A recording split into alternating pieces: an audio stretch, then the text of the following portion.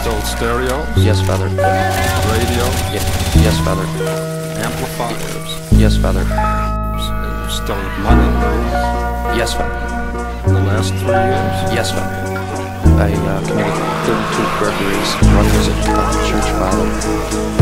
Terrible.